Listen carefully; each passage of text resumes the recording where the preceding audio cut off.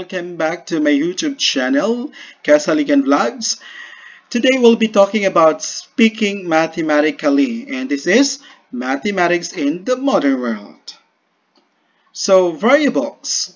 A variable is sometimes thought of a mathematical John Doe because you can use it as a placeholder when you want to talk about something but either first you imagine that it has one or more values but you don't know what they are. Or you want whatever you say about it to be equally true for all elements in a given set. And so you don't want to, res to restrict it to considering only a particular concrete values for it. The advantage of using variable is that it allows you to give a temporary name to what you are seeking so that you can perform concrete computations with it help to discover its possible values. So again, variables is sometimes thought as a mathematical John Doe. So we have here in a sentence, is there a number with the following property doubling it and adding 3 gives the same result as squaring it? By looking at the sentence or in the example, we could say that it's harder for us to understand if we will not make the make use of our variable. In replacing the variables, we could easily understood the sentence or the problems because the states that is there a number x with a property that is 2x plus 3 and x is equal to x squared. Compared to the sentence, it's hard for us to interpret the way when we will not be using a variable to this part. Alright, so we have your example number one. Are there numbers with a property that the sum of their squares equals the square of their sum? And number two, given any real number, its square is a non-negative. So we could uh, rewrite this, all of this, following. So example of this one, are there numbers with a property that the sum of the squares equal to the square of the sum? So we have to represent that one into a variable. So in this case, we could have a number one in this statement we could rewrite this one into a variable that are their numbers a and b with the property a squared plus b squared is equal to a plus b squared. So we could write in this way. Are there numbers a and b with the property a squared plus b squared is equal to the quantity of a plus b squared. If we're going to interpret this one using the variable, we could easily understand the way it goes. Unlike here in the example number one, if that is a full sentence, we could say that it's harder for us to understand because uh, this is not stated. Most, partially, most of the students could really understand the problem if it is stated in the variable. That's why variable is very important because it would serve as a temporary. Okay, you are imagining a temporary one. Okay, so we have here, we could write also this one as are there numbers a and B such that a squared plus b squared is equal to a plus b quantity squared. So we could write in this way, are there, num are there numbers a and b such that a squared plus b squared is equal to the quantity of a plus b squared. Or we could have do there exists any numbers a and b such that a squared plus b squared is equal to a plus b squared. Okay, so we could rewrite in this way uh, the three of these examples. So we could rewrite it this way. Are there numbers a and b with a property a squared plus b squared is equal to the quantity of a plus b squared. Okay, so that's it for number one. In example, we have number two, given any real number, its square is non-negative. So we could have, we could write this part as given any real number, so we could represent number r, we could represent a number r, r squared is non-negative. Okay, so very simple because we have represented a number because when you have its square, we could simply r squared. Or we could have for any real number r, r squared is greater than or equal to 0 because that is equal to non-negative numbers. Or we could have this way as for all real numbers, okay, for all real numbers, r, r squared is greater than or equal to 0. The same way with this part. So we could now have three way of rewriting the statement into a variable form. Though in number in the statement here above, so this is in a sentence form and we could write that one into a variable form so that it could be easily understood by someone who is uh, taking or someone who is looking at the statement. Alright, so we have tried this at home. So use variables to write the following sentences formally. Are there numbers whose squares are smaller than the number themselves? And B are prime numbers integer greater than 1 and whose only positive div divisors are 1 and itself. You could rewrite in the way that uh, we that that could be easily understood by someone who is reading the text.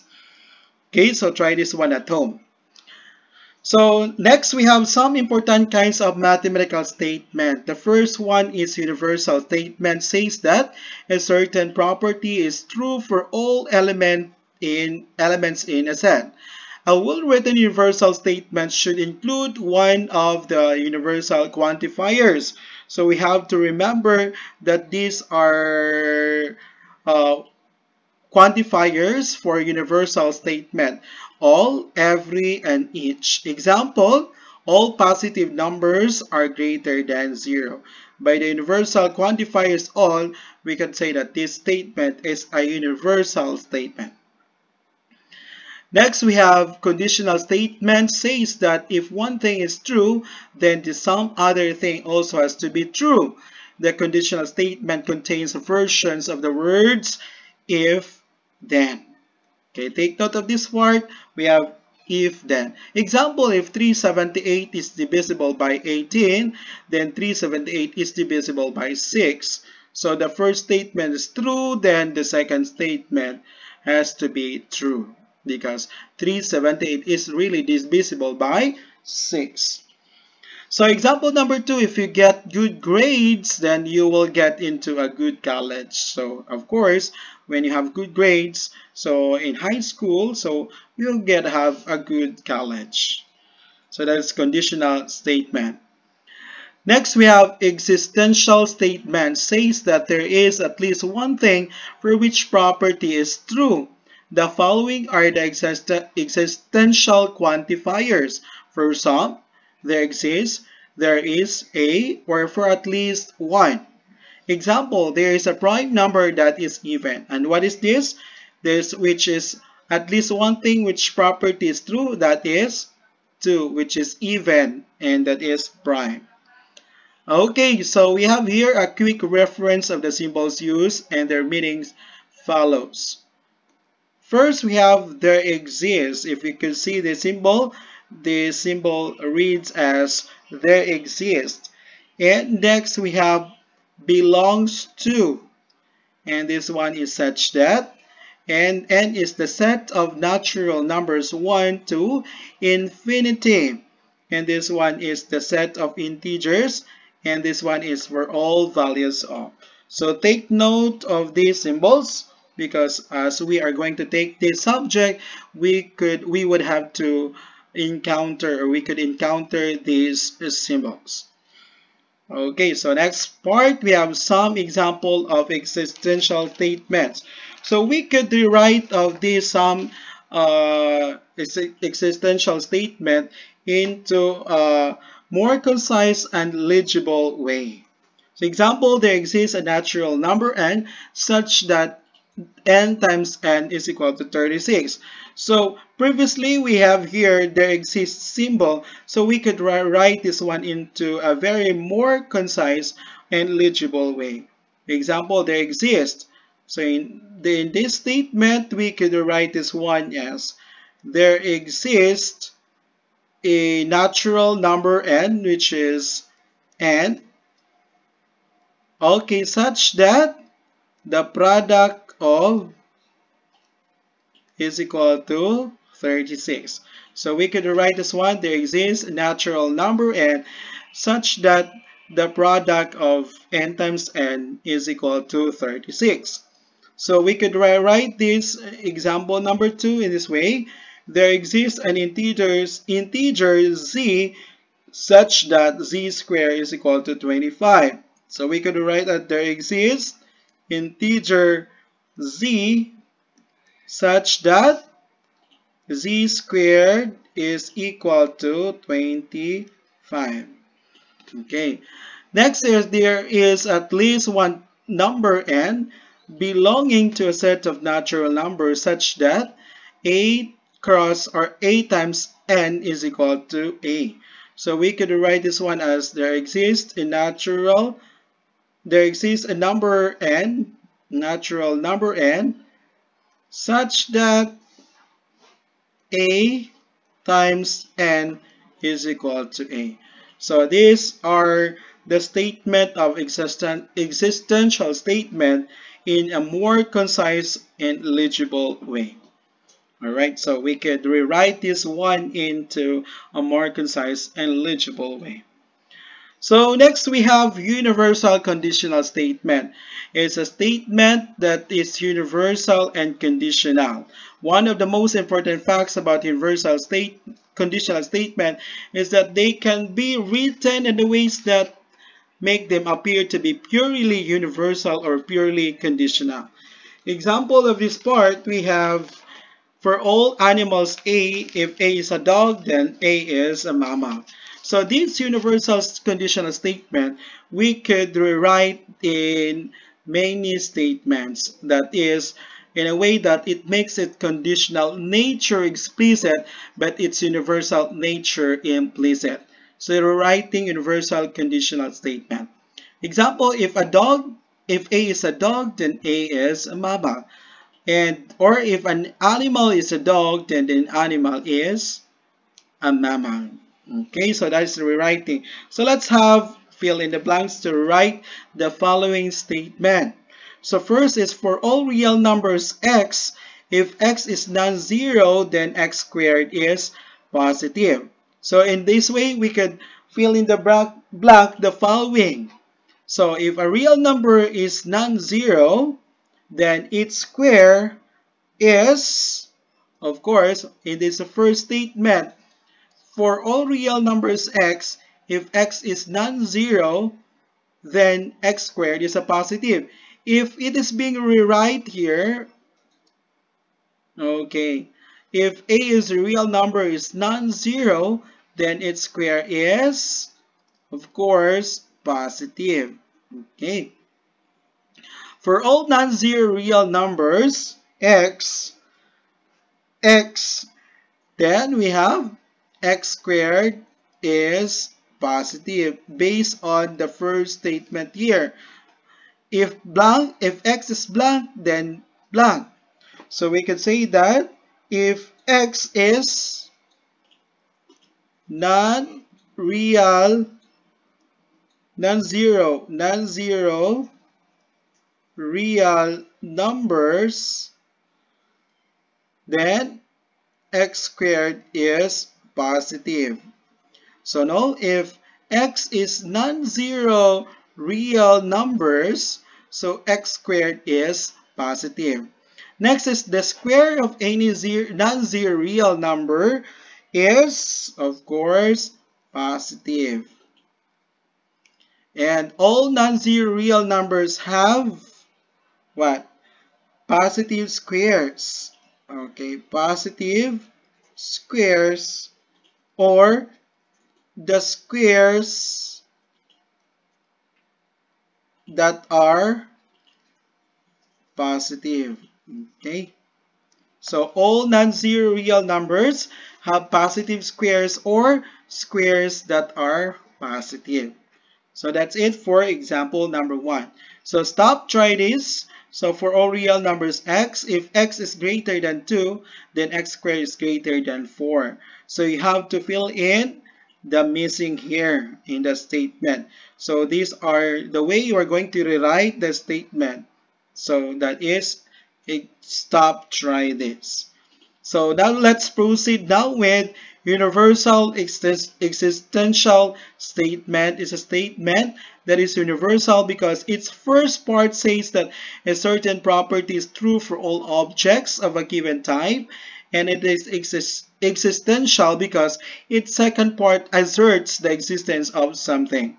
Example, every real number has an additive inverse. So every real number, the first statement is for a certain property that is true for all object in a given time.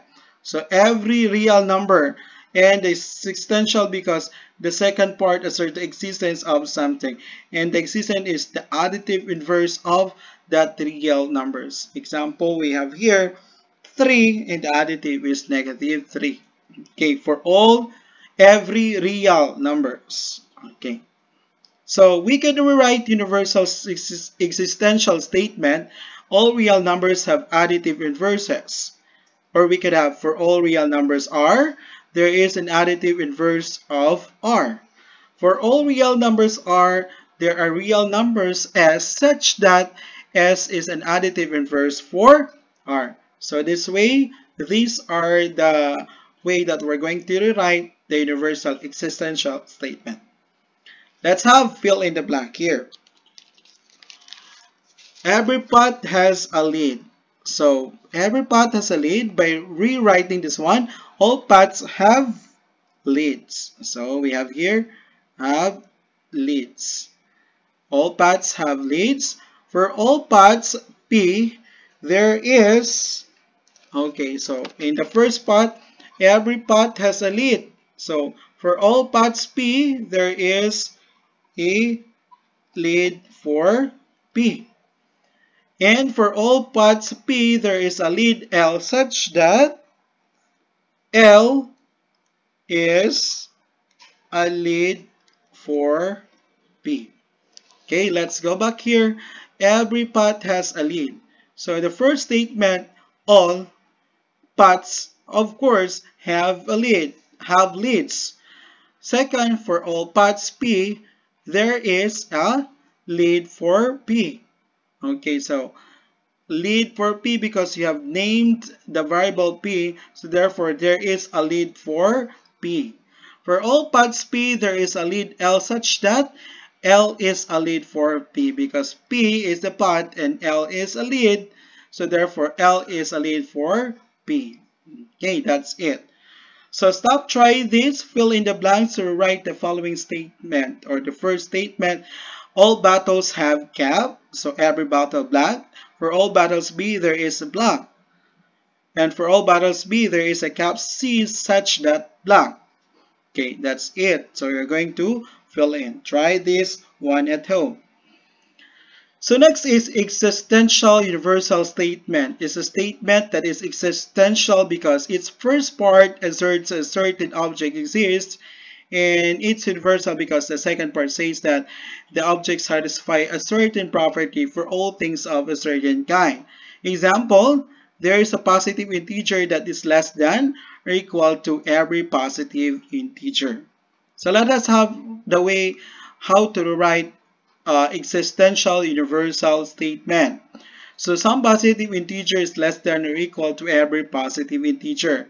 So there is a positive integer m that is less than or equal to every positive integer. Or we could rewrite this way as there is a positive integer m such that every positive integer is greater than or equal to m.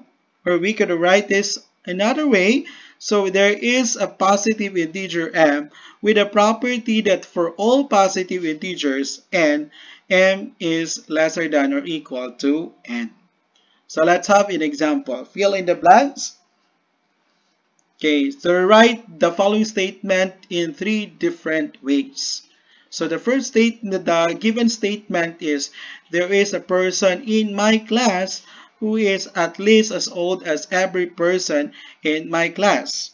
So we have here the first statement that we're going to fill in the blank is some blank is some blank is at least as old as blank. So there is a there is a person in my class who is at least as old as every person in my class. So therefore, we can say that some person in my class is at least as old as every person in my class. Okay, every person in my class. So we have here next, there is a person P in my class such that P is at least as old as every person in my class. Okay, next we have, there is a person P in my class with the property that for every person Q in my class, P is at least as old as Q. Okay, so we have here, there is a person P in my class with a property for every person Q in my class, P is at least as old as Q, being compared here from P to Q. Okay. That's it for fill in the blanks for this part.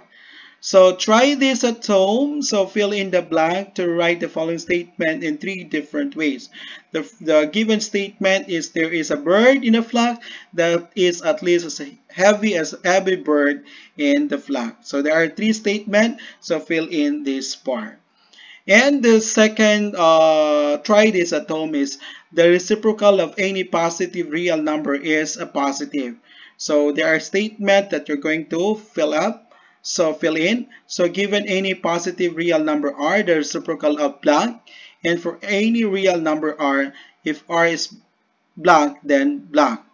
Then if a real number r blank, then blank. So I hope everyone you enjoy the moment while I'm discussing here. So this time, so you have to uh, answer all the tries given. And thank you so much for listening. And don't forget to subscribe my YouTube channel, Kasaligan Vlog. Thank you and God bless everyone. See you for the next topic.